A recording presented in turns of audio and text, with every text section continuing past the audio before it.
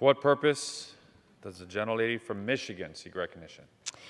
Mr. Speaker, this week marks 49 years since the landmark Supreme Court decision of Roe v. Wade. 49 years since the choice won over life in the eyes of the American people. My colleagues on the other side of the aisle applaud Roe v. Wade and have no problem with the more than 62 million innocent babies that have been aborted since 1973. I, however, find these numbers to be sickening. These children are just as worthy of life as a fully grown adult is. They are created in the image of God, just as you and I are. Their lives should not be carelessly and despicably destroyed.